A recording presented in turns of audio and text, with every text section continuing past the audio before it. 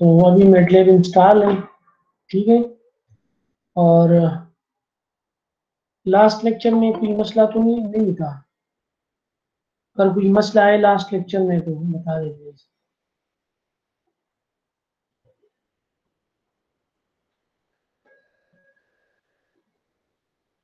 अच्छा शाबाश, are you listening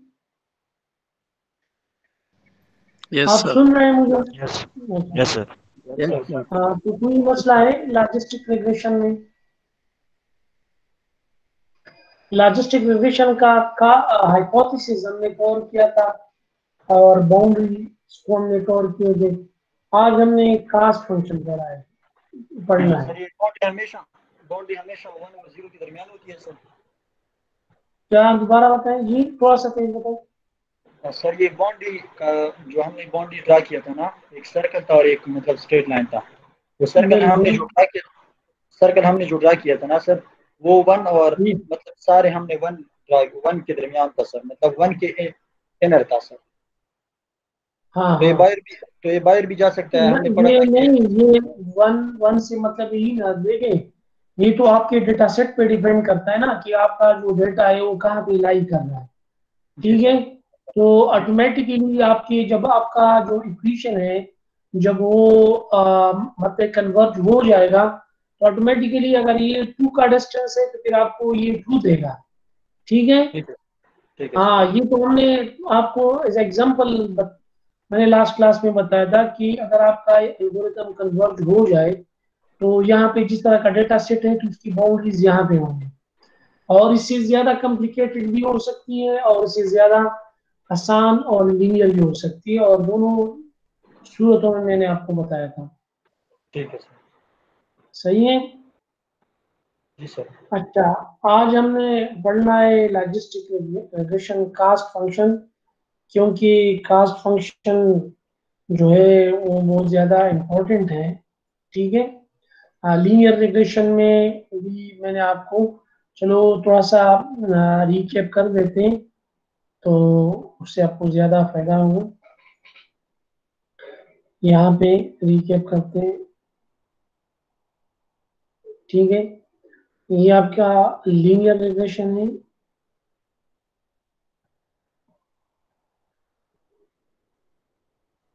ठीक है, और ये है लॉजिस्टिक रिग्रेशन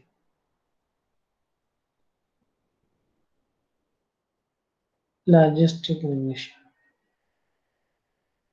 या इसको आप सिग्माइड फ़ंक्शन भी कहते हैं। सिग्माइड फ़ंक्शन ठीक है? तो हाइपोथेसिस एक देखिए नंबर फ़र्स्ट क्या है आपका हाइपोथेसिस ये हाइपोथेसिस वही चीज़ है जो आपके लिए प्रोडक्शन करता है। ठीक है? और पाइप वो डायग्राम आपको याद है कि यहाँ पे आपके पास क्या होता है? डेटा होता है या डेटा सेट होता है? और ये आपके पास ट्रेनिंग ट्रेन होता है। ट्रेनिंग एल्गोरिथम होता है। ठीक है? और यहाँ पे आपका हाइपोथेसिस होता है। ठीक है? और ये हाइपोथेसिस इस तरह के दोबारा ट्रेनिंग और इस तरह। और आखिर में ये आपके पास क्या हो जाता है? कन्वर्ट जो है वो कन्वर्ट हो जाते हैं। ठीक है? तो हाइपोथेसिस आपके पास बहुत सिंपल था। H of theta X equal to theta transpose X इसको हम इस तरह भी लिख सकते हैं और इसको इस तरह भी लिख सकते हैं। Theta zero X zero plus theta one X one up to theta N X N ठीक है? फिर कास्ट फ़ंक्शन था। कास्ट फ़ंक्शन को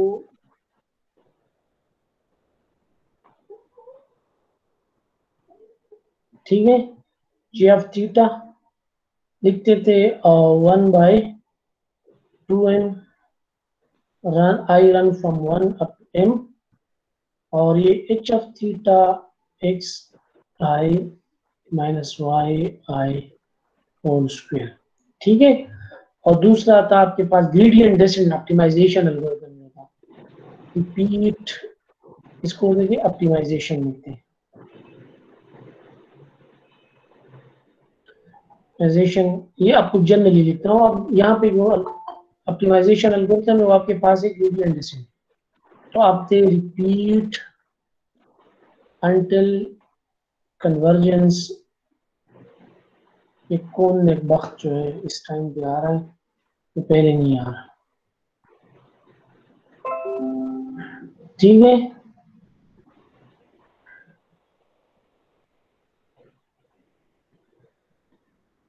और यहाँ पे आपका theta J equal to theta J minus alpha by M और ये start from 1 up to m h of theta x i minus y i और थीटा जे ठीक है? ये आपका एल्गोरिथम है ठीक है? तो ये तीन चीज़ें बहुत इंपॉर्टेंट थे। कास्ट फ़ंक्शन में आपका इसको इस तरह भी साथ मिनिम यहाँ पे यहाँ पे लेफ़्ट साइड पे हम लिखते थे मिनिमाइजेशन मिनी सिर्फ़ मिन भी लिख सकते हैं मिन कास्ट थीटा इस तरह यानी आपका आपका पर्पस क्या है? To minimise to minimise the cost ठीक ठीक है? With respect to this theta या पिरामिड पिरामिडराइज बाय थीटा 0 और theta 1 up to theta i. ठीक है? इसमें हमने लॉजिस्टिक रिग्रेशन में एक तो मैंने आपको बताया कि ये क्लासिफिकेशन क्या है? क्लासिफिकेशन क्लासिफिकेशन है तो इसके लिए हम कौन सा फ़ंक्शन यूज़ करते हैं? जो हाइपोथेसिस है, इस हाइपोथेसिस को आप एक्टिवेशन फ़ंक्शन भी कह सकते हैं। इसको आप क्या कह सकते हैं? एक्टिवेशन फ़ंक्शन इसको हम कहते हैं हाइपोथेसिस देखिए, इसका नाम इसको, ये जब आप एडवांस मशीन लर्निंग में चले जाएँगे तो बहुत सारे नाम से आप इसको पुकारेंगे। एक्टिवेशन फ़ंक्शन भी कहते हैं, जहाँ पे ये जो न्यूरॉन है, वो स्टिमुलेट हो जाता है एक्टिव हो जाता है। ठीक है? यानी कुछ रिस्पांस देता है। और इसको आप एक्टिवेशन फ़ंक्शन भी कहते हैं। यहाँ पे जो एक्टिवेशन फ़ंक्शन है, वो हम सिग्माइड यूज़ कर रहे हैं, जो आपको पता है कि ये बराबर था H of theta X equal to G of Z ठीक है? तो जी ऑफ़ जेड इसको आप इस तरह लिख सकते हैं one one minus Z where Z आपके पास बराबर था Z equal to theta zero X zero up to theta N X N ठीक है? और इसका ग्राफ किस तरह बनता था? अगर आपको याद है तो ये बिल्कुल इस तरह बनता था। This is point zero point five तो ये बिल्कुल इसी तरह, इसी पॉइंट से गुजरता था। ठीक है? याद है आपको? ठीक है? तो हम क्या कहते थे कि इसको हम इस तरह भी लिख सकते हैं कि इसको तो इस तरह लिख सकते हैं कि वन प्लस माइनस, इसको इस तरह थीटा ट्रांसपोज एक्स, इस तरह भी लिख सकते हैं। हमने कहा था कि थीटा ट्रांसपोज एक्स अगर आपके पास ग्रेटर देन और इक्वल टू ज़ीरो है, ठीक है तो ये क्या देगा? Y इक्वल टू वन देगा। यानी यहाँ पे जो हाइपोथेसिस है, वो क्या देगा? वो इसका जो हाइपोथेसिस है, ये एच ऑफ़ थीटा एक्स जो है ये आपके पास ग्रेटर देन 0.5 होगा। यानी जो आपका जो थ्रेशोल्ड है। अगर ये लेस देन ज़ीरो है, ठीक है? अगर ये आपके पास if less theta X less than zero फिर हमने कहा था कि आपके पास जो एच एफ़ थीटा एक्स है, ये आपके पास क्या होगा? लेस देन पॉइंट फाइव होगा। ठीक है? यहाँ जो थ्रेशोल्ड है, वही होगा। ठीक है इसको थोड़ा प्रैक्टिकली मैं आपको दिखा देता हूँ कि इसमें डिफरेंट व्यू देखते हैं और ये जो स्लाइड है देखिए, ये बात हमने यहाँ पे कवर की थी, अगर आपको याद है, ये देख लें, ये यहाँ पे नज़र आ रहा है। ठीक है, और स्पेशली यहाँ पे ना, यहाँ देखिए। ठीक है of greater than or equal to zero point five, तब होगा कि अगर ये आप जेड, आपके पास greater than equal to zero देखिए मेट लेब में आते हैं, ये ये बात प्रैक्टिकली प्रूफ करते हैं कि क्या ये जो इक्वेशन मैंने आपको दिखाया, ये इक्वेशन जो है, ये ये मैं मेटलेब में इस तरह लिखता हूँ one divided by one plus E P that stand for E और इसमें आप आर्गुमेंट लिखे। ये क्योंकि माइनस है ना, ठीक है? माइनस तो ये जेड ऑफ़ थीटा आप लेट सपोज़ ज़ीरो डाल ले। क्या डाल ले? ज़ीरो डाल ले। आप ज़ीरो डाल ले कि इससे आपके पास क्या वैल्यू आती है? क्या था? टू देखिए, आपने ज़ीरो डाला तो वैल्यू क्या आई? टू तो ये टू आपके पास, यहाँ पे जिस तरह हमने लिखा था। It will be greater than जो आपके पास एच एफ़ थीटा एक्स है, ये 0.5 से ग्रेटर होगा। ठीक है, अगर ये अच्छा ये देखिए, आप इस इसके अलावा कोई और वैल्यू डाल लें। आप,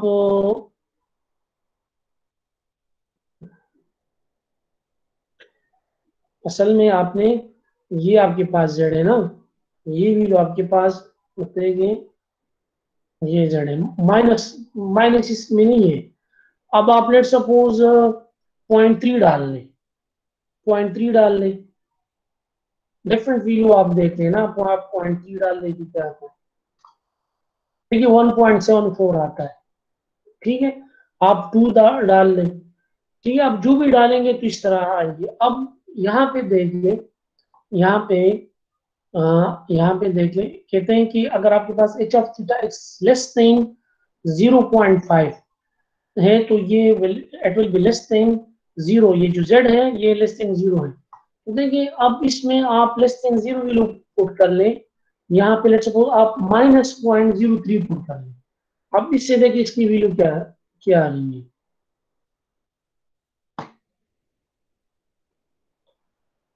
ये क्या आ रही है? एक और माइनस लगा दे सर हाँ? प्लस हो जाएगा। 2.349 ना ये तो ठीक नहीं आ रहा है। सर सिग्माइड की वैल्यू तो हमारे साथ एक से वन से ज़्यादा नहीं आती ये किस तरह? हाँ ये इस इक्वेशन में गलती है ना। वन और ज़ीरो के दरमियान हमारे साथ वैल्यू आता है हाँ ये। ये गलती बिल्कुल हाँ, ये इक्वेशन को सही करते हैं। इक्वेशन के अंदर गलतियाँ। सर ये नीचे या ब्रैकेट में इसको बंद कर देना ये हाँ ना ये इक्वेशन में गलती बिल्कुल आप सही कह इक्वेशन के अंदर गलती है सॉरी ठीक है अब देख लें अब ये आपके पास 0.3 जो है ये ग्रेटर देन आपके पास ज़ीरो है इसी जो हमने क्लेम किया था यहाँ पे तो देखते हैं किसकी वैल्यू आपके पास अब सी आ रही है ना पॉइंट फाइव फोर पहले इक्वेशन में गलती थी हमने इक्वेशन को सही लिखा नहीं था एक यहाँ पे डॉट लगा है, दूसरा है वन इसके साथ ब्रैकेट में बंद कर लिया ठीक है, पहले ये वन डिवाइड बाय वन हो जाता था और फिर ये आती थी ना ये बात। अच्छा अब देखिए, अब इसमें आप इसको माइनस करके देखें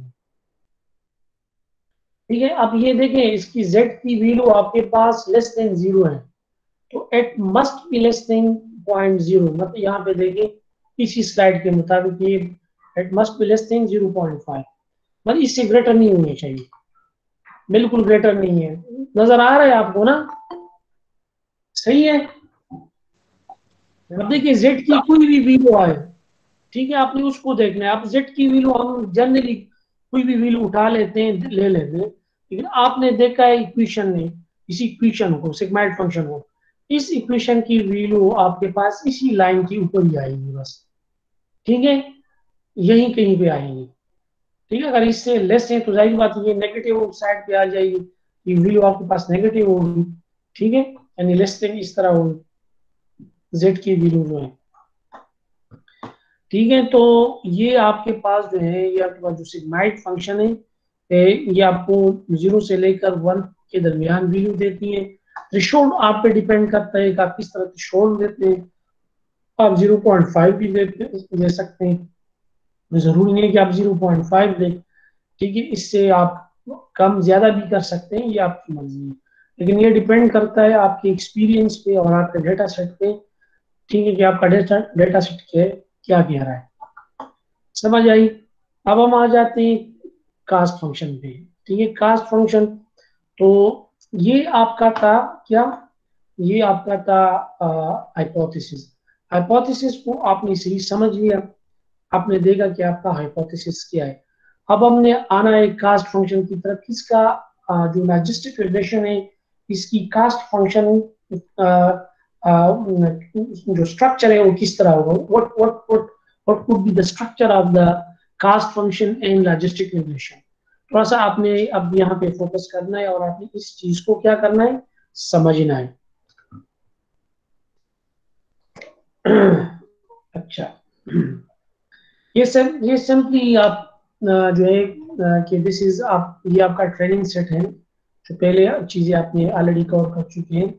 आ, ये जिस तरह आपके एग्जांपल्स हैं। क्लास क्या है? क्लास आपके पास या ज़ीरो है या वन है। या इस, इसका मतलब है कि the tumour tumour can be malignant और बिनाइन ठीक है? या द ईमेल जो होगा वो स्पॉम ईमेल है या नॉट स्पॉम ईमेल है। या अब इस तरह के कहते कहते ट्रांजेक्शन जो है फ्रॉडुलेंट है और नॉट फ्रॉडुलेंट ठीक है? तो इस तरह बाइनरी क्लासिफिकेशन है। क्या है आपके पास? Binary classification mean only you have classes ठीक है?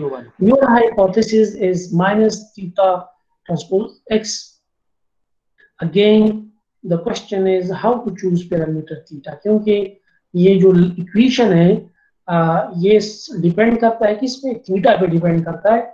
और ये बात ऑलरेडी हम लीनियर रिग्रेशन में इस बात बात को प्रूफ कर चुके हैं कि what is the importance of theta के थीटा का इम्पोर्टेंस क्या है? ठीक है what is the role of theta सही है तो ये तो सिंपल बातें इसमें इतनी कुछ कहने की ज़रूरत नहीं है।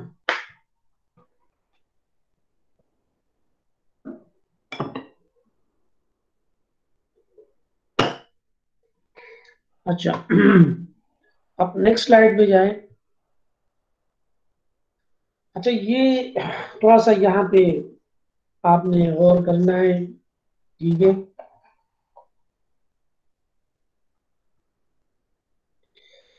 ये देखिए, ये हमारा लीनियर रिग्रेशन का जो कास्ट फ़ंक्शन था, ये, ठीक है? ये हमारा लीनियर रिग्रेशन का कास्ट फ़ंक्शन था और इसकी जगह इसको मैं काट, काटता हूँ, ठीक है? इसकी जगह हमने क्या लिखना है? इसका जगह में लिखना है कास्ट ठीक है? H of theta X I ठीक है? कामा माइनस आपने नहीं लिखना कामा आई आई इस कास्ट फ़ंक्शन को फॉर्मुलेट करते हैं, ठीक है ना? कास्ट फ़ंक्शन को क्या क्या करते हैं? फॉर्मुलेट करते हैं। अच्छा दूसरी बात, आप यहाँ पे आ जाए, एक यहाँ पे आपको कुछ बता देगा जो लीनियर रिग्रेशन है, या जो सिंपल आपका जो हाइपोथेसिस था, वो कन्वेक्स प्रॉब्लम था। ठीक है मतलब किस तरह कन्वेक्स प्रॉब्लम इस तरह की बाउल शेप की था।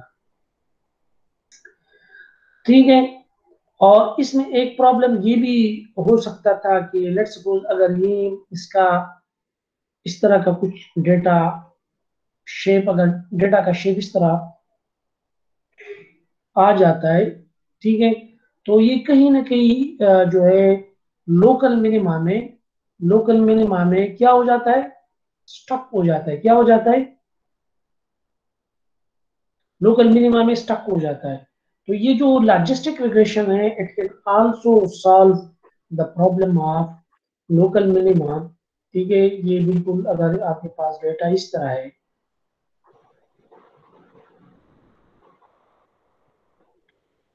ठीक है?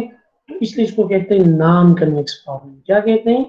नॉन कन्वेक्स लॉजिस्टिक रिग्रेशन को आप क्या कर सकते हैं? नॉन कन्वेक्स कह सकते एक आप बा, बात जहन में डाल लेते यहाँ पे हमने जो वन बाई टू था इससे हटा मतलब इससे हमने सेपरेट किया और यहाँ पे लेके आए। इस समेशन के अंदर लेके आए और उसको हमने क्रॉस किया। और उसकी जगह हमने ये लिखा। ठीक है?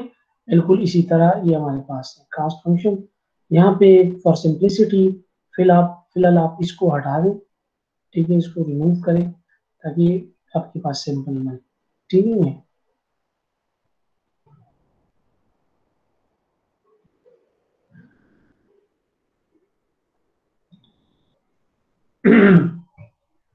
सही है।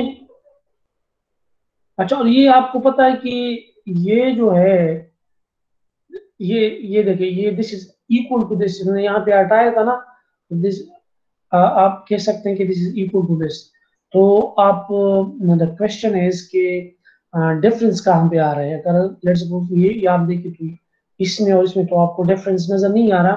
ठीक है तो डिफरेंस मैंने आपको कहा था कि डिफरेंस लाइज हियर डिफरेंस यहाँ पे है क्योंकि ये आपके पास बराबर है। One plus E minus theta X ठीक है और यहाँ पे आपके पास बराबर है। Theta zero X zero up to theta N X N या थीटा ट्रांसपोज एक्स सिंपल ठीक है? और यहाँ पे आपके पास हाइपोथेसिस बराबर है इसका। ठीक है? हम कास्ट कास्ट फ़ंक्शन की तरफ़ जा रहे हैं। मैं अभी आपको अगले स्लाइड पे आपको कास्ट फ़ंक्शन ड्रा कर रहा हूँ। ठीक है? आ, या डिराइव कर रहा हूँ।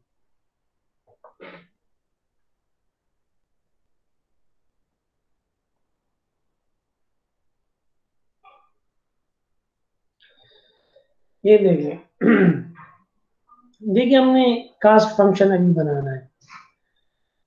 अच्छा ये देखिए, ये आपका दिस इज़ कास्ट फ़ंक्शन ठीक है?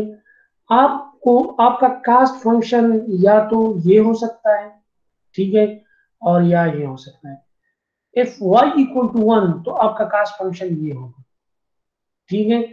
अगर if y equal to zero तो आपका कास्ट फ़ंक्शन जो है, ये होगा। ठीक है? अब देखिए, इस कास्ट फ़ंक्शन को हम प्रैक्टिकली देखते हैं कि आया ये बात जो इन्होंने की है, ये गलत है या ठीक है? ठीक है? देखिए, आप मेरे साथ इंटरेक्टिव रहे जहाँ पे आपको समझ नहीं आ रही तो आप मुझे अपने वॉइस को ऑन करके आप मुझे मुझे इंटरेक्ट कर लें ठीक है? मैं, देखिए, ये ये minus log H of theta X if Y equal to one देखिए, ये आपका ग्राफ है। दिस इज़ हाइपोथेसिस और ये कास्ट है। ये आपकी, आप क्या है? दिस लाइन शो कास्ट ये कास्ट शो कर रहा है। ठीक है? अब अगर हाइपोथेसिस आपके पास वन होगा तो हमें चाहिए कि हमारा कास्ट जो है, वो ज़ीरो के बराबर यानी बिल्कुल इसी तरह, मैं आपको अगर ये लाइन इस तरह ड्रा करूँ ठीक है? इस तरह, और ये आपके पास इंफिनिटी है।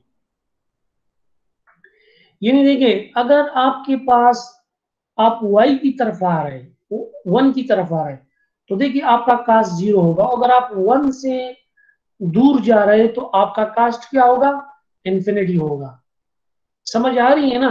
देखिए, अगर एच ऑफ़ थीटा एक्स आपके पास वन की तरफ़ आ रहा है तो आपका कास्ट क्या होगा? ज़ीरो होगा, या ज़ीरो को करीब होगा।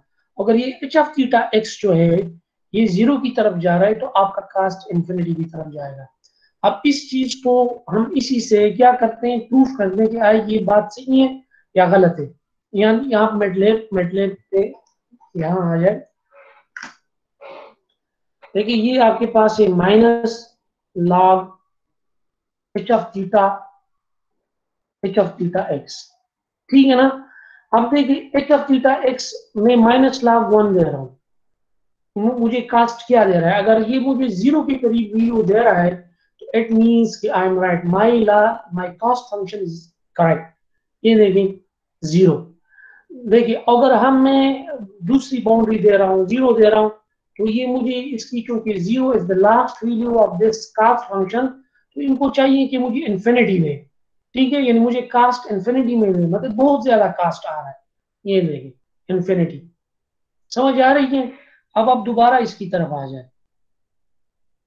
ठीक है? यानी इसका मतलब यही है, अगर मेरे पास y इक्वल टू वन है तो आई शुड फॉलो यानी मुझे ये कास्ट फ़ंक्शन लेना चाहिए।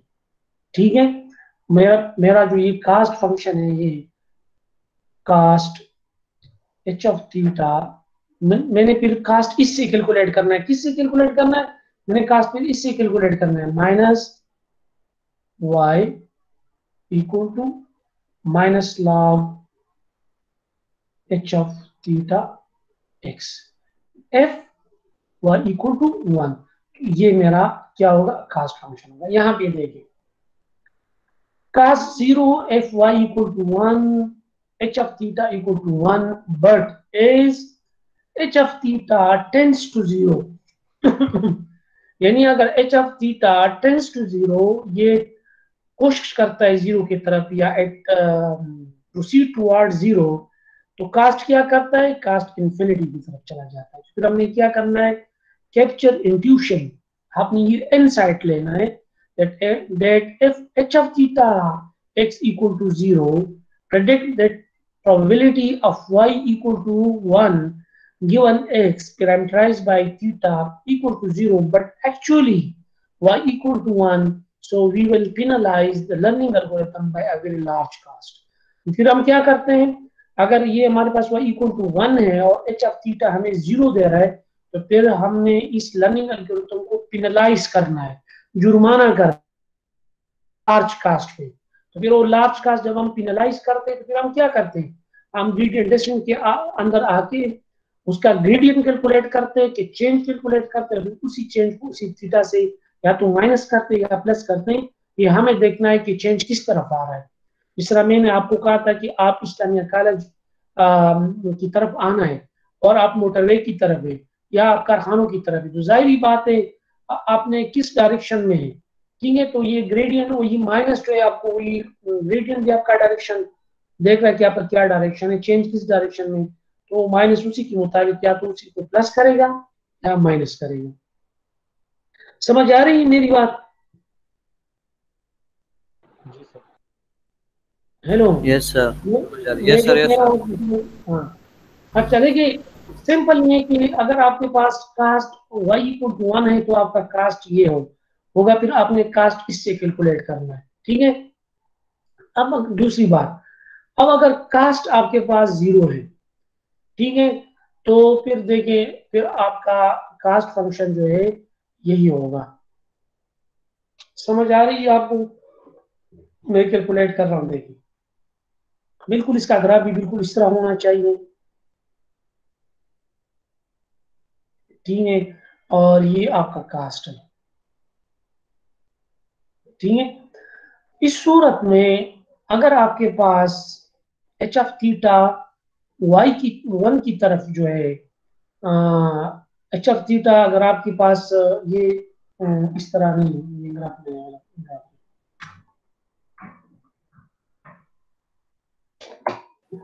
Excuse me. सर जी जी। सर ये y is equal to one और y is equal to zero ये हमारे पास कास्ट है कि ये वो क्लासेस है वन एंड ज़ीरो ना ये तो क्लास है ना ये तो क्लास यार ये तो आपका क्लास है। यस सर समझ आ रही है? ये तो क्लास है देखिए हम कहते हैं जिस तरह हमने इसी स्लाइड पे देखा ये लेंगे ये देखिए लेट सपोज़ आप जो जिस चीज़ को आप प्रोजेक्ट कर रहे हैं वो एक्चुअली वन है। यानी आपका जो ग्राउंड ट्रुथ है वो वन है। तो एच एफ़ थीटा एक्स को क्या देना चाहिए? उसको वन प्रोडिक्ट करना चाहिए ना ठीक है वन प्रोडिक्ट करना चाहिए। तो अगर इसी सूरत में ये आपको ज़ीरो की तरफ़ लेके जाए तो फिर आपका कास्ट इन्फिनिटी की तरफ़ जाएगा। तो ज़ाहिर बात है जब कास्ट इन्फिनिटी की तरफ़ चला जाएगा और ये आपके पास एक्चुअली वन है गिवन बाय डेट एक्स ठीक है जो वन के एग्जांपल्स हैं ठीक है? यानी मैं कहता हूँ कि this the tumour is benign malignant malignant mean malignant mean one और बिनाइन मीन ज़ीरो ठीक है? तो ज़ाहिर बात है फिर आपने अपने लर्निंग एल्गोरिथम को पिनलाइज कर रहे हैं ना? Yes. अगर आप चीज़ को गलत कर रहे हैं ठीक है तो फिर आप आप जुर्माना होंगे ना पिनलाइज होंगे। फिर आपने उसी वेट को क्या करना है? एडजस्ट करना है बाय एडिंग और बाय सब्ट्रैक्टिंग ठीक है, वो तो लीनियर रेग्रेशन में मैंने आपको बताया था। कोई ग्रेडियंट जो आप डिफरेंशियल लेते हैं स्लोप लेते हैं तो फिर आपको बता देता है कि आप जो है, ये पॉजिटिव है चेंज है या नेगेटिव चेंज है। नेगेटिव पॉजिटिव से मेरा मतलब ये है कि आपने इसी को प्लस करना है या माइनस करना है। आप किस तरफ़ है? ठीक है तो ये बात है। अब देखिए, अब लेट सपोज़ आपके पास y इक्वल टू ज़ीरो है, ठीक है? तो ये जो एच ऑफ़ थीटा एक्स है, ये आपको ज़ीरो की तरफ़ तो चाहिए कि आपको ज़ीरो की तरफ़ लेके आए। लेकिन अगेन हम इसको कहते हैं, अगर ये एच ऑफ़ थीटा आपको करता है, ये अगर एच ऑफ़ थीटा एक्स जो है, ये आपको वन की तरफ़ लेके जाता है तो आपका कास्ट फिर क्या होगा? फिर आपका कास्ट इक्वल टू इन्फिनिटी होगा, ठीक है? तो again you will have to penalise that algorithm by large cost ठीक है? देखिए, यहाँ पे हम इसको प्रैक्टिकली प्रूफ करते हैं। देखिए, यहाँ पे देखिए, अगर ये वन की तरफ़ टेंस करता है तो ये इन्फिनिटी की तरफ़ आता है। लेट्स कास्ट लेट्स सपोज़ हम कहते हैं कि इन्फिनिटी है, और ये आपको कास्ट रिप्रेजेंट कर रहा है। अगर ये ज़ीरो की तरफ़ आता है तो ये कास्ट इक्वल टू ज़ीरो होगा। हम इसी एल्गोरिथम को लेते हैं, देखें। मैट लेब में लेते हैं। देखिए, ये आपके पास है। माइनस लॉग ठीक है? और ये वन माइनस वन माइनस, अब एच ऑफ़ थीटा की आप ज़ीरो और वन के दरमियान में लेट सपोज़ अगर एच ऑफ़ थीटा एक्स आपको ज़ीरो दे रहा है, ठीक है? एच ऑफ़ थीटा अगर आपको ज़ीरो दे रहा है तो कास्ट क्या होना चाहिए? ये कास्ट है। ये कास्ट का ग्राफ है। कास्ट ज़ीरो होना चाहिए। ज़ीरो आ रहा है। अगर ये यहाँ पे देख ले, अगर ये अब एच ऑफ़ थीटा वन की तरफ़ टेंड कर रहा है टेंडेंसी कर रहा है मतलब वन दे रहा है, हम चलो लेट सपोज़ वन देते ठीक है? तो देखिए, ये आप वन दे रहे ये इंफिनिटी आएगा। ठीक है? तो ये इंफिनिटी आएगा। तो इसलिए देखिए इसका ग्राफ इस तरह बनता है, यानी एच ऑफ़ थीटा एक्स अगर वन की तरफ़ टेंडेंसी कर रहा है in case if y equal to zero तो कास्ट इंफिनिटी होगा, और अगर ये ज़ीरो दे रहा है तो मतलब कि ज़ीरो की तरफ़ टेंड कर रहा है तो फिर कास्ट आपके पास ज़ीरो होगा या कम होगा। ठीक है? ज़ीरो भी हो सकता है, कम भी हो सकता है। ठीक है? ज़ीरो क्लोज टू ज़ीरो होगा। In that case if h of theta tends to 1 ठीक है तो the cost will be infinity if y equal to zero so then you will have to penalise the learning algorithm by this large cost जितना cost है, उसी के मुताबिक आपने क्या करना है, उनको घुमाया करना है। तो इन दैट केस आपका जो ये कास्ट फ़ंक्शन होगा, ये जो कास्ट फ़ंक्शन है cost h of theta x comma y इस, इनके, इस केस में आपके पास log one minus h of theta x ठीक है, इस तरह। अच्छा अब देखिए, हमने इन, इस एल्गोरिथम को, इस कास्ट फ़ंक्शन को किस तरह कंबाइन करना है? कि इससे हम एक इक्वेशन बनाए। ठीक है, ये तो ज़ाहिर बात है, हमने इम्प्लीमेंट करना है ना। इम्प्लीमेंट करना या तो फिर आप इस तरह भी लिख सकते if in case of if else में भी लिख सकते हैं। ठीक है लेकिन हम इस एल्गोरिथम को इस तरह कंबाइन कर देते हैं कि ऑटोमेटिकली जब if y equal to one होगा ठीक है अगर वाई इक्वल टू वन है आपके पास तो क्या होगा? आ, आपके पास ये बचेगा मतलब सिर्फ़ ये पोर्शन आएगा और y को टू ज़ीरो होगा तो आपके पास ये पोर्शन आएगा। तो मैं इसको इस तरह लिख सकता हूँ, देखिए।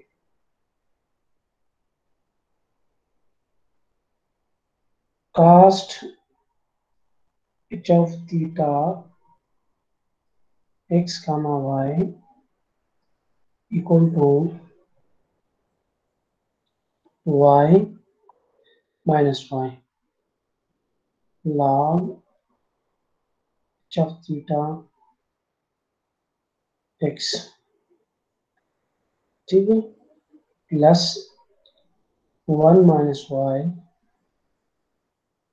ठीक है? वन माइनस वाई तो ये माइनस माइनस जो है माइनस इस प्लस के साथ होगा तो ये क्या हो जाएगा? ये माइनस हो जाएगा। इसको माइनस करें। तो minus all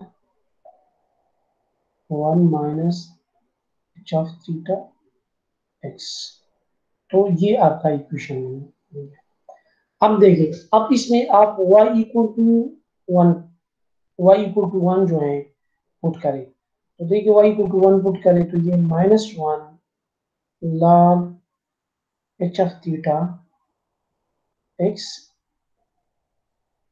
minus one minus one log 1 minus h of theta x तो ये क्या हो जाएगा? ये ज़ीरो हो जाएगा। जब ये ज़ीरो हो जाएगा तो ये इसके साथ मल्टीप्लाइड हो जाएगा तो ये पोर्शन जो है, ये किसके बराबर हो जाएगा? ज़ीरो के बराबर हो जाएगा।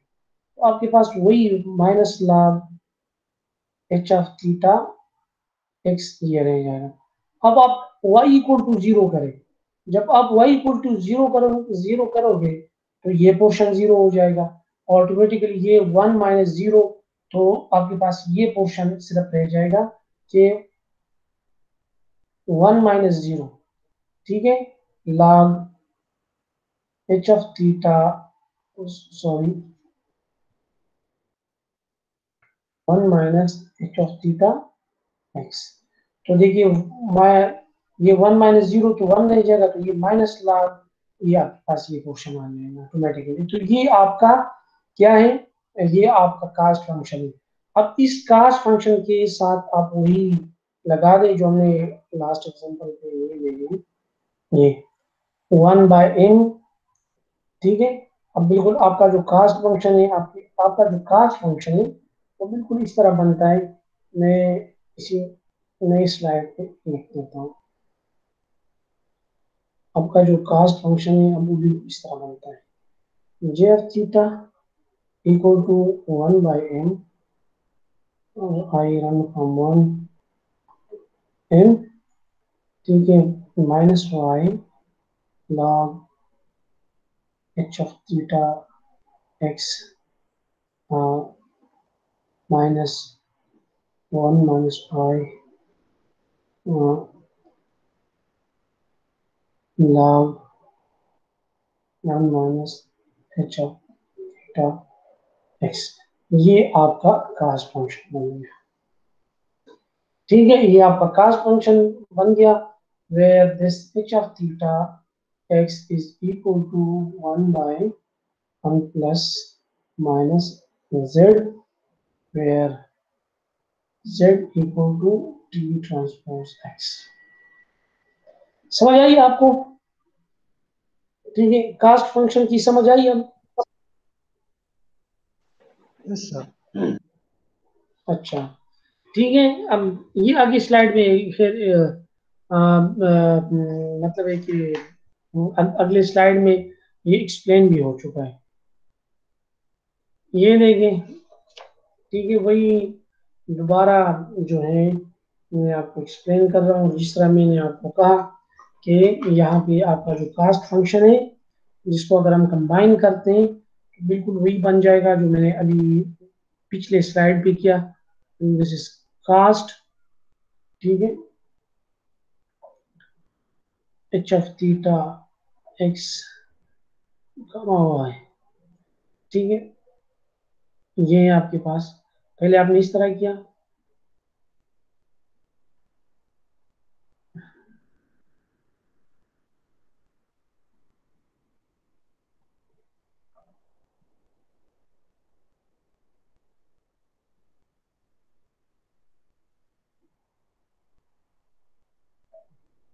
ठीक है, और फिर इसको क्या थीटा ठीक है इस तरह भी लिख सकते हैं साथ यहाँ पे वही, वो भी लगाए।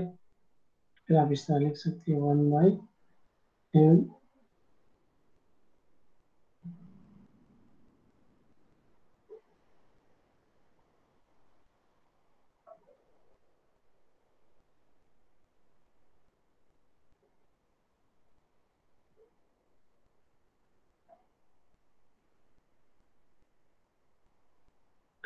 ठीक है तो ये अब अगर y इक्वल टू वन लगाएँगे तो आपके पास ये पोर्शन आएगा। अगर y इक्वल टू ज़ीरो लगाएँगे तो आपके पास फिर ये पोर्शन आएगा। ठीक है? तो this is your cost function अभी वही बात है कि अब हमारा ग्रेडियंट डिसेंट एल्गोरिथम किस तरह होगा? ठीक है? Next question is this must be this ठीक है? नेक्स्ट स्लाइड पे चले जाए।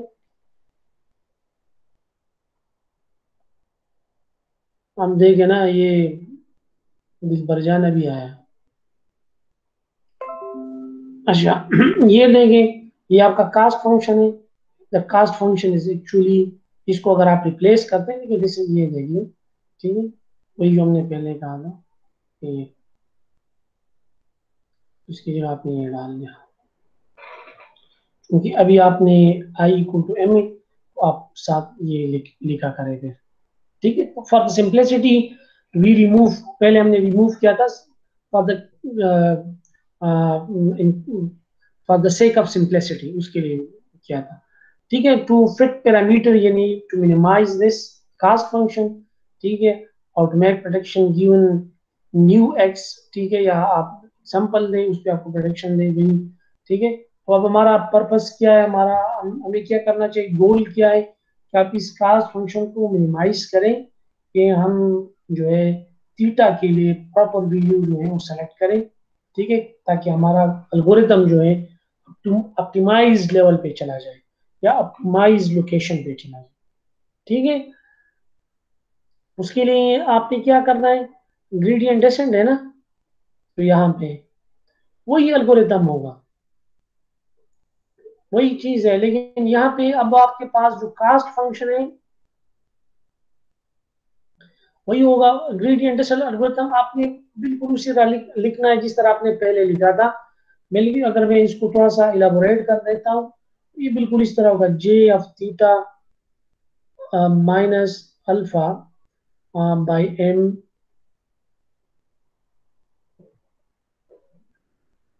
h of theta x i minus y i और थीटा जे तो वही बिल्कुल उसी तरह। ठीक है, अगर मैं इसको इंडिविजुअली लिखता हूँ तो इंडिविजुअली में इसको इस तरह लिखता हूँ। Theta zero minus alpha by M 1 up to m h of theta x i minus y i और थीटा ज़ीरो ठीक है, और इधर थीटा वन के लिए थीटा वन अच्छा तो आपकी तरफ़ से ये क्वेश्चन आना चाहिए कि, sir what now what is the difference between this greedy descent algorithm which we are coding for logistic regression and and that which we coded for linear regression ठीक है, जो हमने लीनियर रिग्रेशन के code किया था, और इसमें क्या डिफरेंस है तो इट्स लुक लाइक सेम आपका आंसर ये होना चाहिए अगर ये क्वेश्चन मैं आपसे करूँ तो आप कहें कि sir the difference is like here ठीक है? पहले में आपके पास हाइपोथेसिस डिफरेंट था और इसमें डिफरेंट ठीक है? तो ये आपका लॉजिस्टिक रिग्रेशन है। है। लेकिन लॉजिस्टिक रिग्रेशन में यूजुअली हम ऑप्टिमाइजर डिफरेंट टाइप के ऑप्टिमाइजेशन एल्गोरिथम ले सकते हैं। न्यूटन रॉब्सन मेथड भी लेते हैं। ये जो आपका एग्जांपल है, यहाँ पे। ठीक है? तो उस क्लास में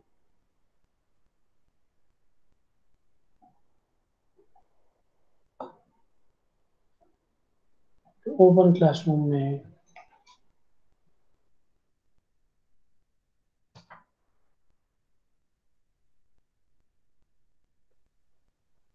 कहता है लॉजिस्टिक रिलेशन ये एग्जांपल देंगे।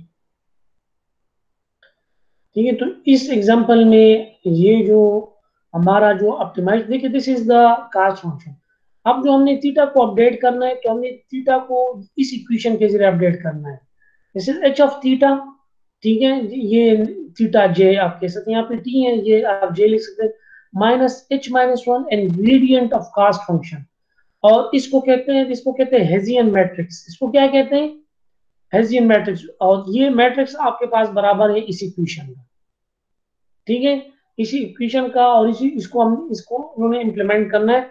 And this is gradient of cost जिस तरह आप ग्रेडियंट लेते हैं, जो आपके पास इक्वल है, इसी का। ठीक है, जो ऑलरेडी हम कर चुके हैं लास्ट एग्जांपल में। ठीक है, अगर आप कोड देख लें। कोड देख लें। न्यूटन ऑप्शन डिफरेंट देखिए थीटा है और देखिए, बहुत जल्द आफ्टर टू आइट्रेशन जो है, ये कन्वर्ज हो चुका है क्योंकि डेटा आपके पास बहुत कम है। ठीक है, इसी कोड को आप यहाँ से डाउनलोड करें। ठीक है, और पहले ये देखिए ये ये करना क्या चाह रहा है। ठीक है, ये कहता है for this exercise suppose that high school as a data set representing 40 students who were admitted to college and 40 students who were not admitted. ठीक है। तो ये training example contain student score on two standardised exam and label of the student was admitted. इसमें दो subjects के course हैं। Score है score दो सब्जेक्ट के स्कोर ठीक है? चलो मैं कोड डाउनलोड कर देता हूँ। इस एग्जांपल को एक दफ़ा रन कर देता हूँ। आपको दिखा देता हूँ कि इसके अंदर क्या है। इन पहले स्लाइड्स को खत्म कर लेते हैं। ठीक है? तो ये आपका वही है। आपका हाइपोथेसिस हो गया। आपका कास्ट फ़ंक्शन हो गया और आपका ग्रेडियंट एल्गोरिथम भी हो गया। ये तीन चीज़ें जो आप करते हैं किसी लर्निंग एल्गोरिथम में। सिंपल कन्वेंशनल लर्निंग ये देख वही है। देखिए, algorithm look identical to linear regression, but the different, but the difference is, the different lies here ठीक है, वो मैंने आपको ऑलरेडी बता चुका कि डिफरेंस यहाँ पे है क्योंकि इसका हाइपोथेसिस आपके पास क्या है?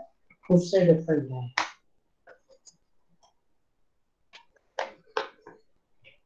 ठीक है? अच्छा लॉजिस्टिक रिग्रेशन एडवांस ऑप्टिमाइजेशन मैंने आपको बताया था कि एडवांस ऑप्टिमाइजेशन टेक्निक्स हैं। ठीक है? आप इसको डिफरेंट तरीकों से जो है कर सकते हैं। ठीक है? देखिए दिस इज़ optimization algorithm की cost function want minimize this cost function given theta we have code that can compute this cost function cost function and this gradient of this cost तो gradient descent आपके पास ये है ठीक है अब ये काम जो है यहाँ पे ये काम ये काम जो आप कर रहे हैं ये काम एक तो सिंपल ग्रेडियंट डिसेंट है ये काम आप डिफरेंट तरीकों से कर सकते हैं जो अगले स्लाइड में देखिए ग्रेडियंट डिसेंट है कॉन्जुगेट ग्रेडियंट है बी एफ़ जी एस है L B F F G S है स्टोकेस्टिक ग्रेडियंट है, इसके अलावा और भी बहुत सारे आप जो है, आप इसको सर्च कर सकते हैं, ठीक है? और न्यूटन ऑप्शन मेथड है। आपने देखना है कि कितने ऑप्टिमाइजेशन एल्गोरिथम कितने हैं जो we can we by which we can replace the gradient descent ये आपका असाइनमेंट हो गया। ठीक है? ये आपका छोटा सा असाइनमेंट हो गया। आपने नेक्स्ट क्लास में मुझे बताना है, मैंने पूछना है। ठीक है? और आप लोगों ने मुझे बताना है। और इसको कर ले, अगर आप इस सब्जेक्ट में आगे जाना चाहते हैं तो you you should do it ठीक है? ग्रेडियंट डेसेंट जो है इसके मुकाबले में और ये जो है, इन दोनों में अगर मतलब कि ग्रेडियंट डेसेंट की जगह हम ये एल्गोरिथम क्यों यूज़ करते हैं? इसके एडवांटेजेस क्या है? इसके एडवांटेजेस ये हैं कि no need to manually pick learning rate often faster than gradient descent.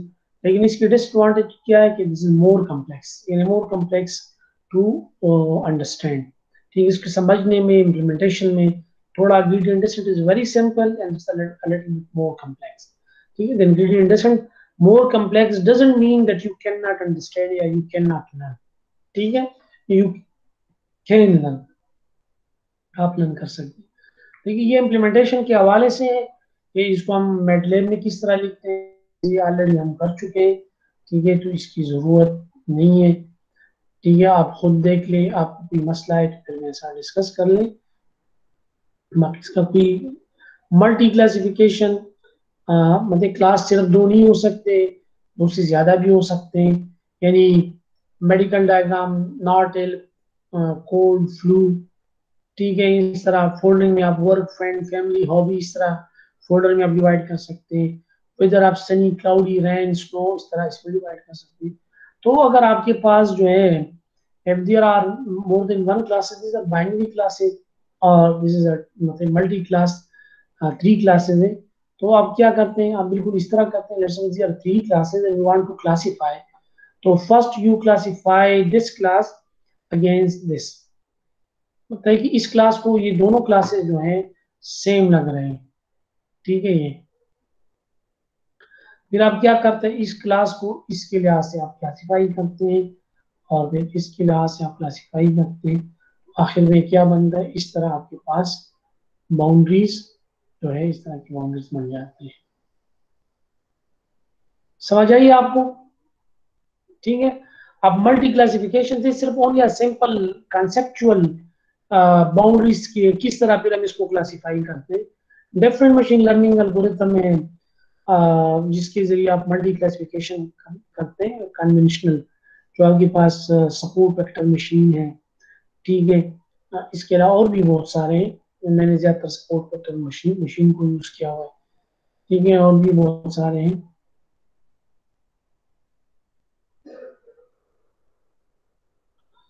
अच्छा अब इस एग्ज़ाम्पल की तरफ़ आते हैं। ठीक है? ये मैट लैब के अंदर मैं देखता हूँ, ये मौजूद है मेरे पास। तो इसको रन कर देता हूँ ताकि फोल्डर चेंज हो जाए। तो ये उस फोल्डर में चला जाएगा ना इसमें ये पड़ा है। अच्छा। अच्छा ये रन किया था आप लोगों ने? ये एग्जांपल रन किया था? हाँ मल्टीवेरिएट लीनियर रिग्रेशन हेलो ये एग्जांपल फोर था ना वो रन किया था सर। क्या? एग्जांपल थ्री और टू रन किए थे सर। अच्छा अभी एग्जांपल फोर कर रहे हैं। जी सर अभी ये फोर है सर। अच्छा तो ये देखते हैं। इसमें लॉजिस्टिक एग्जांपल फोर ही पड़ा है। ठीक है? तो ये आपके पास डेटा है और इसमें एग्ज़ाम्पल भी पड़ा है। ठीक है, इसको डेटा को आप यहाँ पे आए। अच्छा इसको मैंने आपको कहा कि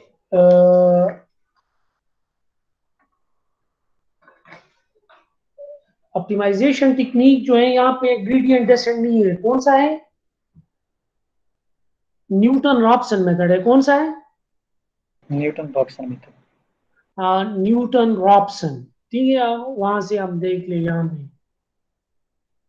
अल्लाह के मन आप तो इतने खुशकिस्मत है, सारी चीज़ें यहाँ पे पड़ी हैं। और सिर्फ़ पढ़ने का है देर है कि आप थोड़ा सा इसको पढ़े।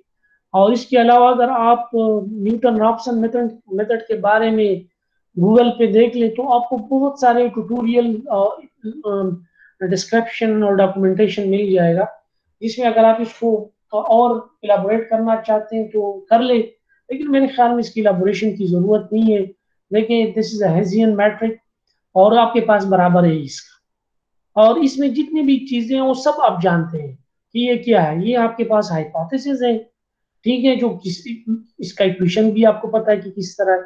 ये one minus hypothesis again this is X है, जो डेटा है, और दिस इज़ एक्स और इसका आपने ट्रांसपोज लिया हुआ है। ठीक है? और ये ग्रेडियंट भी ऑलरेडी आपने पढ़ा है। आ, पिछले दो एग्जांपल में सिंपल वही है। आ, जो कास्ट फ़ंक्शन का आपने ग्रेडियंट लिया था तो आपके पास ये आया था। वन बाय वो लर्निंग वगैरह हटा दे सिर्फ़ जो कास्ट फ़ंक्शन था। ठीक है? तो इस ये भी आपको पता है कि किस तरह पिछले एल्गोरिथम में किस तरह इम्प्लीमेंट हुआ है। लेकिन सिर्फ़ फ़र्क यहाँ पे है कि ये आपके पास लॉजिस्टिक रिलेशन है उसका हाइपोथेसिस चेंज है। ठीक है? और ये और ये आपका कास्ट फ़ंक्शन है, ठीक है?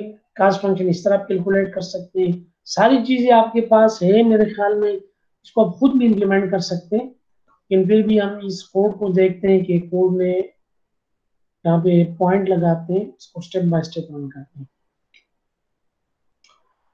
ठीक है डेटा है, आपने इसको लोड किया और मैंने आपको कहा था कि ये दो एग्ज़ाम्स है। दो सब्जेक्ट के स्कोर हैं, उसके बेस पे या दो एग्ज़ाम्स हैं, उसके बेस पे उन्होंने क्या, किया हुआ है? एडमिशन फोर्टी स्टूडेंट इस तरह के उनको इन दो सब्जेक्ट पे उन्होंने एडमिशन दिया है और दो फोर्टी स्टूडेंट इस तरह कि उनको इन दो सब्जेक्ट स्कोर पे एडमिशन नहीं मिला। तो इस पे मशीन को आप ट्रेन करते हैं इसी पे, इस एग्जांपल पे और फिर आपको इस तरह एक बंदा आता है और आपको ये कहता है कि मेरा ये स्कोर है, दो सब्जेक्ट्स में या दो एग्ज़ाम्स में क्या मुझे यहाँ पे एडमिशन मिल सकता है या नहीं? तो आप उसको अपने मशीन को देते हो मशीन आपको कहता है कि येस या नो क्योंकि वो उसी की बुनियाद पे कहता है कि जिस पे आपने मशीन को ट्रेन किया है।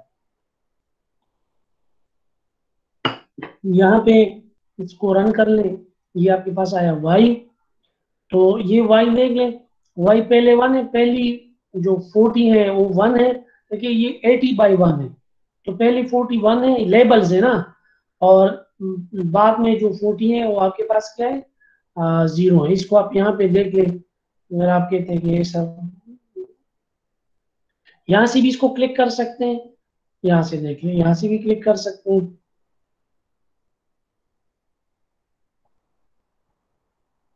ये देखिए देखिए देखिए, फोर्टी तक वन है, फिर देखिए, इकतालीस से लेकर एटी तक क्या आ रहा है? ज़ीरो। तो ये लेबल है। One mean pass, zero means fail. और आप यहाँ से भी देख सकते हैं, वाई यहाँ पे देख लो, वाई। लेकिन एरे से ज़्यादा पता चलता है आसानी से कि वहाँ पे नंबर नहीं और ये आपके पास डेटा है। ठीक है दो सब्जेक्ट अब आपने क्या करना है? आ, इसका साइज़ मालूम करना है ठीक है एक्स का क्योंकि दो चीज़ें आपने मालूम करने के। नंबर ऑफ़ ट्रेनिंग एग्जांपल कि, कितने हैं? और नंबर ऑफ़ फीचर्स कितने हैं? ठीक है इस नंबर ऑफ़ फीचर्स भी ना दो फीचर है। और एक नंबर ऑफ़ ट्रेनिंग एग्जांपल है एम इक्वल टू एटी और एन इक्वल टू टू लेकिन यहाँ पे आपने एक ज़ीरो ऐड नहीं किया तो आप यहाँ पे एक ज़ीरो भी ऐड कर ले। ठीक है, अब देखिए अभी आपके पास इसमें वन नहीं है, आप वो एक ज़ीरो भी ऐड कर ले। देखिए this number of training example and number of feature जो आपके पास टू है, लेकिन एक्स ज़ीरो स्टिल मिसिंग यहाँ पे आप देखिए अभी आपके पास वन भी आ गया। ठीक है? इस डेटा को प्लाट करें, ये ऑलरेडी आप पढ़ चुके ठीक है?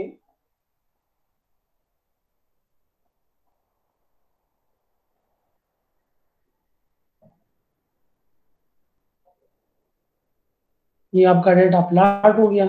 ठीक है, ये आप, एक आपके पास फेल है और ये आपके पास पास है। ठीक है, दो डेटा है ना। अब देखिए, ये दोनों डेटा एक दूसरे के साथ बहुत मिला हुआ है। मतलब इसका जो, क्या होगा, जो बाउंड्री है डिसीज़न बाउंड्री उसका खींचना इतना आसान काम नहीं है।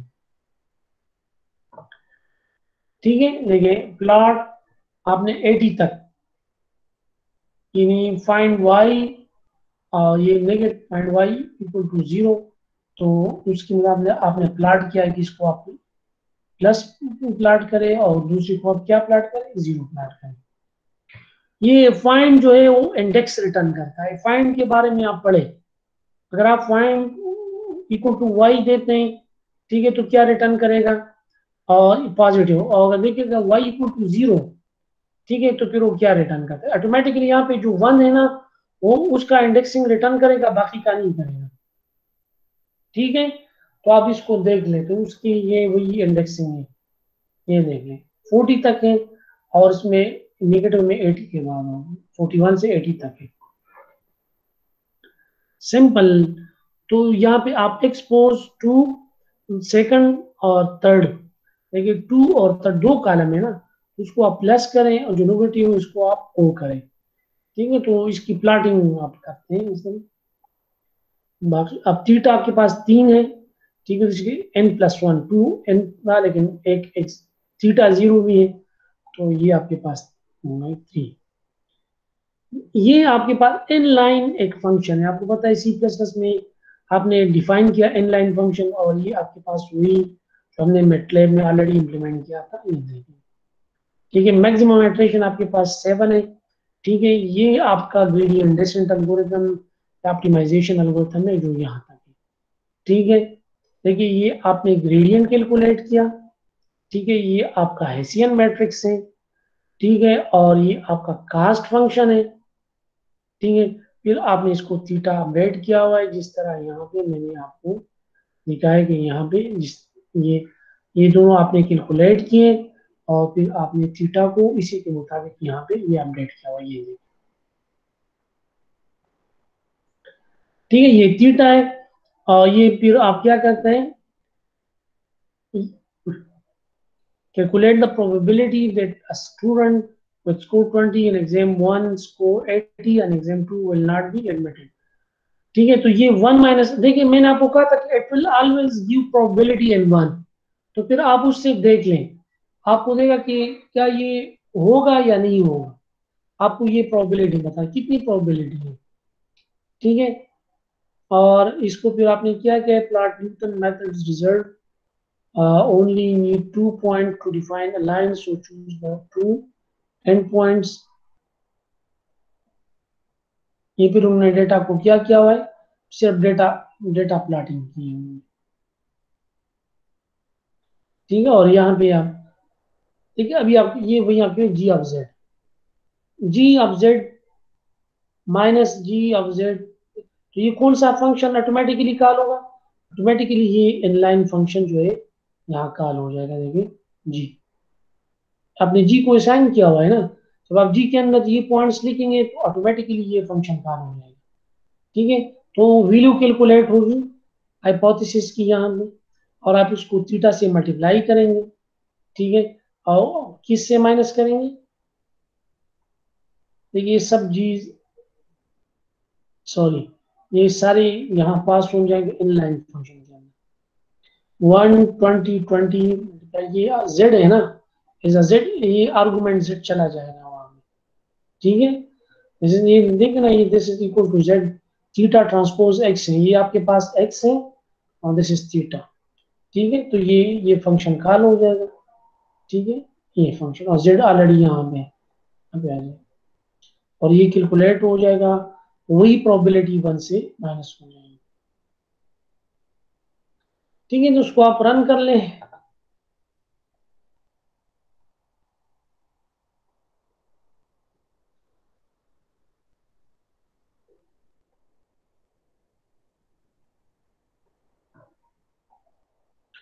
These are iteration. ये आपका कास्ट फ़ंक्शन है जे है। जे को इन्होंने प्लाट किया हुआ है और कहाँ पे प्लाट किया हुआ है? ये उन्होंने पॉइंट्स लिखे हैं और फिर इसके, उसके ऊपर उन्होंने इस, देखें, उसको प्लाट किया हुआ है।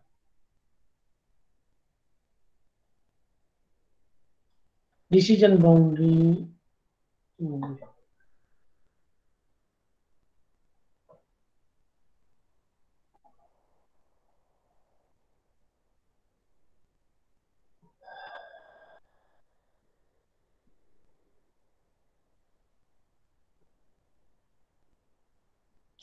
देखिए यहाँ पे देखें, plot Newton Raphson method. Different point पे उन्होंने ये न्यूटन रॉबसन मेथड को क्या किया हुआ है? प्लाट किया हुआ है। अगेंस्ट दिस कास्ट कि हर कास्ट पे, हर आइट्रेशन पे क्या कास्ट किया आ रहा है? ठीक है? तो ये this is only related to ये प्लाटिंग है। ठीक है? तो इस पे आपने क्या करना है? इस पे आपने कंफ्यूज नहीं होना। और ये थीटा ये थीटा की वैल्यूज़ है, ये वही प्रोबेबिलिटी है, जो ग्रेटर ग्रेटर देन आपके पास 0.6 है, यानी मतलब ये पास है, और ये डिफरेंट कास्ट ठीक है तो मेरे ख्याल में इसमें इतना कोई मसला नहीं होगा। क्या ख्याल है आपका? ये कोड समझ गए आप लोग? यस सर यस सर देखिए सिंपल है ना इसमें मतलब इस तरह कोई कॉम्प्लिकेशन नहीं मैंने आपको बताया कि ये आपका कास्ट फ़ंक्शन है। वही इक्वेशन ऑलरेडी आप आपने पढ़ा है देखिए सम समेशन है। ठीक है? समेशन जो I run from one I equal to one which is run from one up to M ठीक है, बाकी वही इक्वेशन है, देखिए। वही इक्वेशन इसमें कुछ नहीं है, वही इक्वेशन है। ठीक है दिस सम ये सम किसके लिए? वही run from one up to M और ये डिवाइड बाय एम है। ये आपके पास हेसियन मैट्रिक्स है सिंपल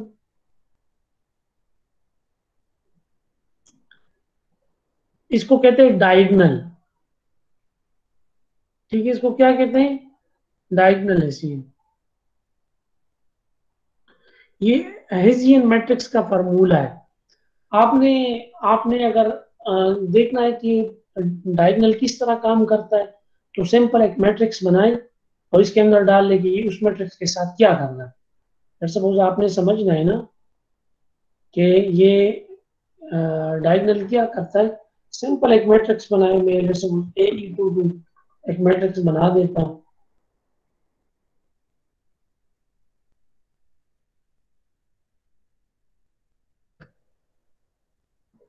कितने कॉलम में फोर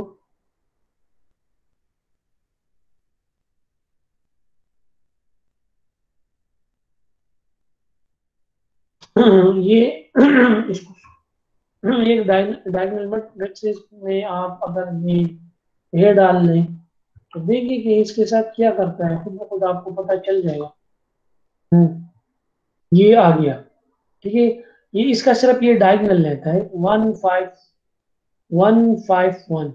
ये स्क्वायर मैट्रिक्स नहीं है तो इसलिए यहाँ तक नहीं पहुँचा। अगर आप इसको स्क्वायर करेंगे तो जाएगी बात ये बिल्कुल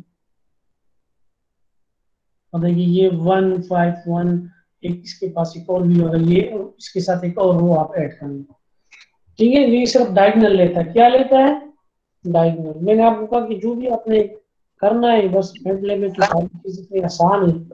कि यहाँ पे किसी, जिस, किसी भी चीज़ को आप यहाँ पे टेस्ट करना चाहते हैं टेस्ट कर लें। ठीक है, ये एक्स ट्रांसपोज है। ठीक है, आप मतलब कि इसको रन कर ले step by step let suppose आप रन कर दें। ठीक है, और आप हर स्टेप पे इसको खुद देखें।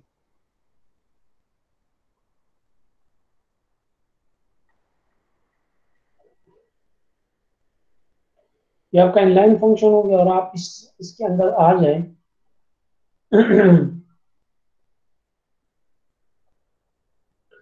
जे ज़ीरो आपके पास तकरीबन एटी क्योंकि एटी आपके पास है तो एटी कास्ट एटी एग्जांपल्स है ना आपके पास। उन्होंने सिर्फ़ सेवन बाय वन किया हुआ एग्ज़ाम मैक्सिमम एट्रेशन चूँकि सिर्फ़ फाइव है तो इसलिए उन्होंने सेवन सेवन पॉइंट्स पे उन्होंने कास्ट फ़ंक्शन को कैलकुलेट किया हुआ।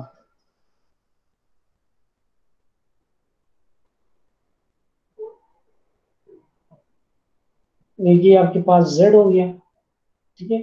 X ट्रांसपोज थीटा जो आप यहाँ पे यूज़ कर रहे हैं इन लाइन फ़ंक्शन के अंदर।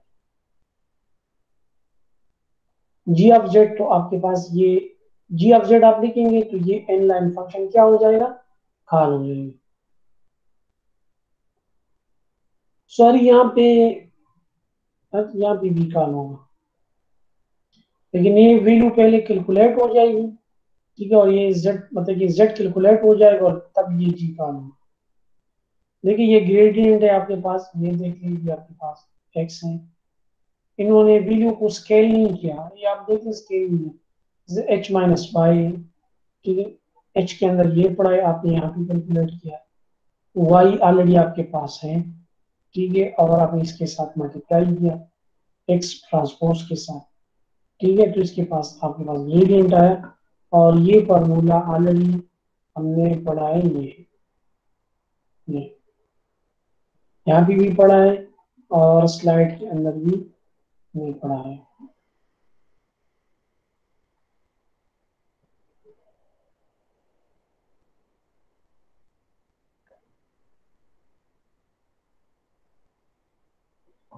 मैंने कहा पे वही।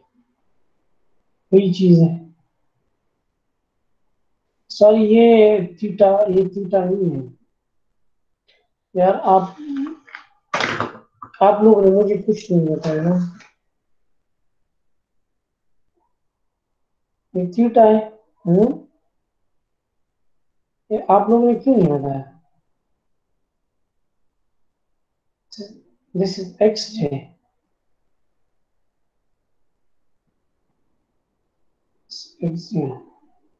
कहीं और पे तो ये गलती नहीं है।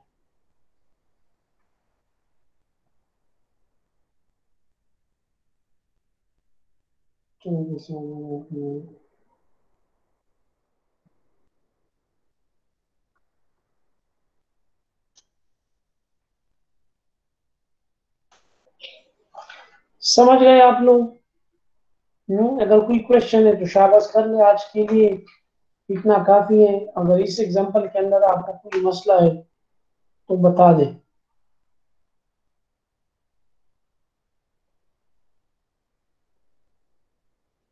जी शाबाश। Hello Abdullah. Sir hello sir. जी जी।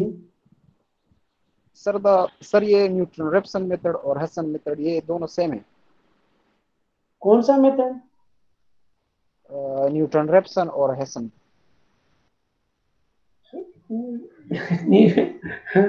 न्यूटन न्यूटन हेडसन नहीं है न्यूटन रॉप्सन है और Newton Raphson method Hessian matrix part of Newton Raphson method इसके अंदर है ना सेम है सर सेम सेम देखिए सेम तो आप नहीं कह सकते लेकिन आप इस तरह कह सकते हैं कि Hessian matrix is one of the step inside Newton Raphson method ठीक है? हेजियन मैट्रिक्स को जब आप कैलकुलेट करते हैं लेकिन देखिए अकेले तो आप हेजियन मैट्रिक्स नहीं कर रहे हैं साथ आप ग्रेडियंट को भी कैलकुलेट कर रहे हैं ना? ग्रेडियंट भी यूज़ हो रहा है। ठीक है? Yes sir hmm. और अच्छा आप में से कौन जो है बहादुर होगा और कहा कि मैं इस एग्जांपल को जो है पाइथान में चेंज कर सकता हूँ लाइन बाय लाइन आप में से कौन इसको पाइथान इस एग्जांपल को पाइथान में कन्वर्ट करेगा? अच्छा मैं आपको एक असाइनमेंट दूँगा और इस असाइनमेंट में, एक असाइनमेंट में ये तीन एग्जांपल्स को आप लोगों ने पाइथान के अंदर लिखने बिल्कुल लाइन बाय लाइन ठीक है ये आपका होगा और इंशाल्लाह असाइनमेंट कल या परसों जो है अपलोड हो जाएगा।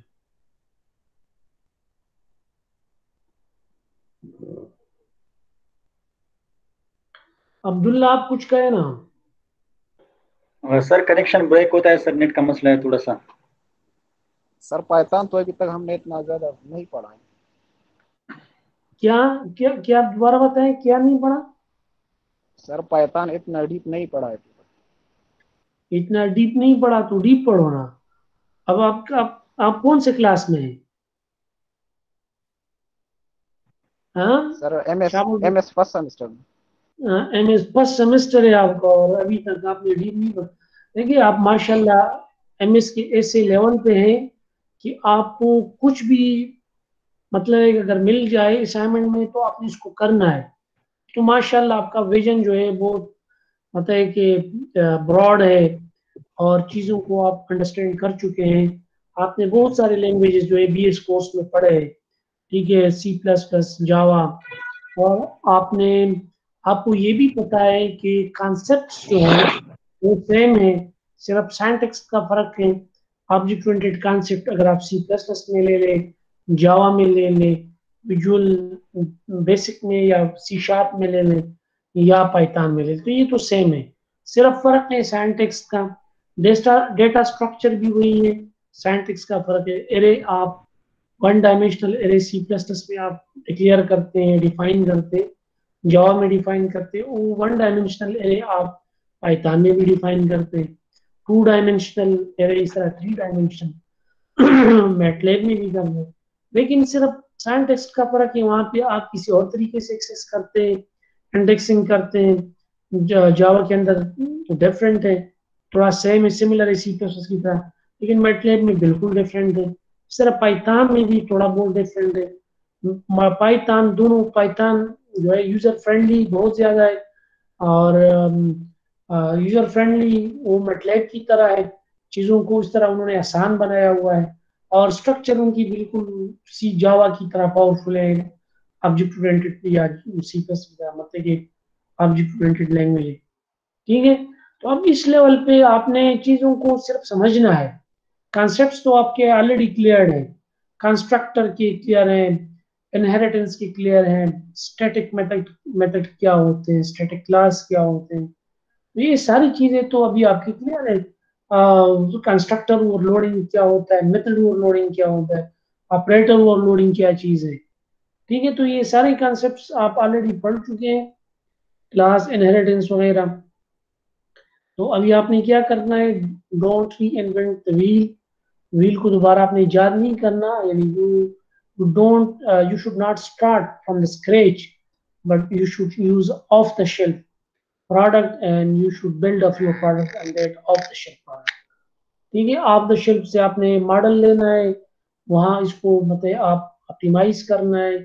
उनके साथ आप डिफरेंट मतलब कि फीचर्स जो है वो चेंज कर सकते हैं। उसकी साइज़ को चेंज कर सकते हैं क्लासेस को चेंज कर सकते हैं। ऑलरेडी ट्रेंड मॉडल को आप जो है मतलब कि मॉडिफाई कर सकते हैं। ठीक है तो ये तो माशाल्लाह ये चीज़ें तो बहुत ज़्यादा कॉमन है। और ये जो लैंग्वेज ये दो तीन दो, तीन एग्ज़ाम्पल ये तो इंतहाई आसान एग्ज़ाम्पल ठीक है, इंतहाई आसान, इतना कम कोड सारी चीज़ें मैंने आपको बता दी, ये तो बहुत कम्प्लेक्स और हज़ारों लाइन में कोड आपको मिलेगा, फिर आपने उसको मॉडिफाई करना है डिबग करना है। तो अभी से आप अब जो है, अपने आप को, अपने विजन को और अपने इरादों को ब्रोड कर लें। सही है? समझ गए मेरी बात को आप? एमएस वाला स्टूडेंट जो है। जी सर नहीं तो डीप पढ़े ठीक है? डीप पढ़े ये तो आप अभी आप इन चीज़ों का बहाना अपना बनाए। ये तो आपने इन्वेस्टिगेट करना है रिसर्च करना है इवेलुएट करना है चीज़ों को। शाबाश इसके अलावा कोई क्वेश्चन उठा ओके सर इंशाल्लाह कोई और? शाबाश।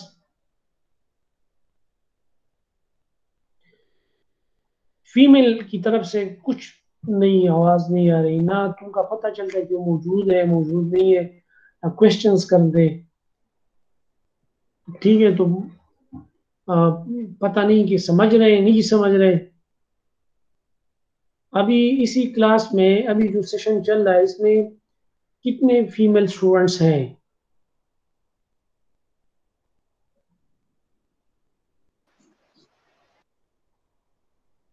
एक भी स्टूडेंट नहीं है फीमेल स्टूडेंट इस क्लास के अंदर अभी इस सेशन में। ज़ीरो है। सर कोई ऑनलाइन नहीं है। अच्छा। मतलब है कि ये आ, इनको कहो सबको कहो जितने भी स्टूडेंट है सब स्टूडेंट को कहो कि आप देखिए अगर क्वालिटी एनहांसमेंट सेल जो हमारा है अगर उन्होंने स्टूडेंट अटेंडेंस को इसी के साथ मशरूत किया, आपके यहाँ ऑनलाइन क्लासेस से तो फिर अटेंडेंस यहाँ से आ जाएगी ठीक है, ये बात आप जहन में रख लें। अभी वो उन पर डिपेंड करता है ना। ज़ाहिर बात है, आपका अटेंडेंस के तो मार्क्स होंगे ना। जिस तरह की बी एस है बी एस के अटेंडेंस के तो मार्क्स होंगे। तो उसका तो प्रूफ देना पड़ेगा फिर। चलो सही है अगर कोई और क्वेश्चन है तो आप बता दें फिर सेशन को खत्म कर देंगे।